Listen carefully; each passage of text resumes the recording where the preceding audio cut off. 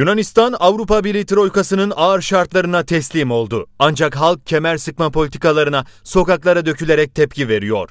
Ünlü para spekülatörü George Soros, Yunanistan'ın bu anlaşmayla kazandıklarının onu sadece 6 ay idare edeceğini ifade etti. Aynı konuşmada Soros, Avrupa Birliği'nin yakında parçalanacağını da belirtti. Soros'un ismi dünyadaki büyük ekonomi krizlerinde veya Arap Baharı'nın estiği ülkelerdeki isyanlara verdiği finansal destekle hatırlanmaktadır. Soros'un Avrupa Birliği'nin yıkılacağı yönündeki açıklaması bizim için ileriye dönük bir öngörü değildir. Bu açıklamaları Soros'un uluslararası arenadaki fonksiyonuyla değerlendirmek gerekir. Çok geç kalmış bu itiraf Soros'dan AB'nin ilk günlerinde gelseydi bir ciddiyeti olabilirdi. Bugün yapılan açıklama menfaatleri zedelenen bir global spekülatörün kamburundan kurtulma yoludur.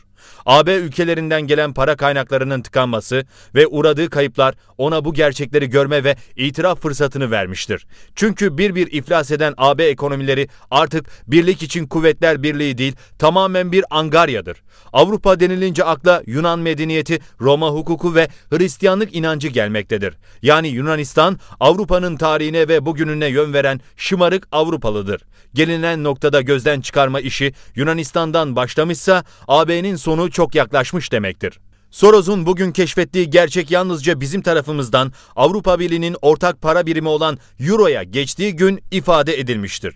Bizim de Almanya'da olduğumuz bir sırada gelen bu Euro'ya geçiş kararı sonun başlangıcı olarak tarafımızdan dile getirilmiştir. Biz AB'ye 15 sene ömür biçmiştik. Gelişmeler haklı olduğumuzu göstermektedir. Avrupa Birliği dağılmaya mahkumdur.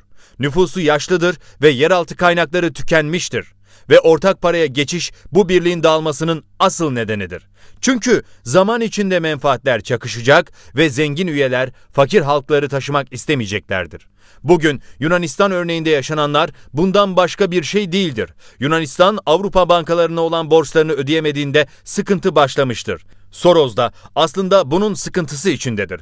Avrupa Birliği ülkelerinde AB Merkez Bankası'na devredilen para basma hakkıyla üyeler senyoraj hakkını kaybetmiştir. Bu Yunanistan'da olduğu gibi borçlanmaya gidilmesine sebeptir. Bu borçlanma ekonomik olarak çöküşlerine neden olacaktır. Kapitalizmin temeli belli bir grubun menfaatlerinin tatminidir ve paranın belli ellerde toplanmasına hizmet eder.